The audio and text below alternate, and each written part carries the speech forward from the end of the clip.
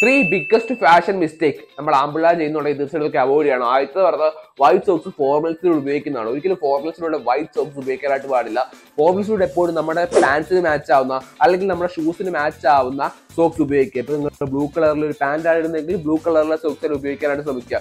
White കളറിലെ socks എന്തെങ്കിലും sports activity ചെയ്യുകയാണ് അല്ലെങ്കിൽ വൈറ്റ് സ്റ്റീക്കേഴ്സ് ഇടുകയാണെങ്കിൽ മാത്രം ഉപയോഗിക്കുക.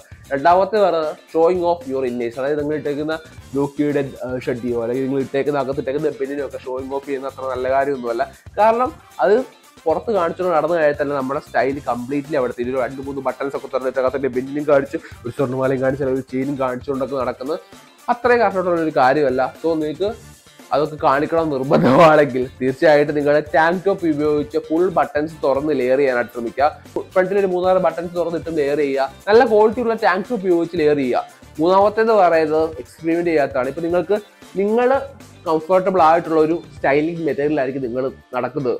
സോ നിങ്ങൾ എക്സ്പെരിമെന്റ് ചെയ്യാത്തടത്തോളം കാലം നിങ്ങൾക്ക് കൂടുതൽ കൂടുതൽ സ്റ്റൈലിംഗ് മെത്തേഡ്സിലേക്ക് പോകാനായിട്ട് വരത്തില്ല ചിലപ്പം നിങ്ങൾ വേറെ ഏതെങ്കിലും ഒരു തരത്തിലുള്ള ഔട്ട്ഫിറ്റ് ഇടുമ്പോഴായിരിക്കും നിങ്ങളുടെ ലുക്ക് നല്ലതുപോലെ മാക്സിമം ആവുന്നത്. സോ എക്സ്പെരിമെന്റ് ചെയ്യാനായിട്ട് ശ്രമിക്കുക. അപ്പോൾ ഇതുപോലുള്ള ഫാഷൻ ഗ്രൂമിംഗ് മൈസൂർ വീഴ്ച പേജ് ഫോളോ ചെയ്യുക. ലോങ് കൂടിക്ക് യൂട്യൂബ് ചാനൽ ചെയ്യുക. അടിയോ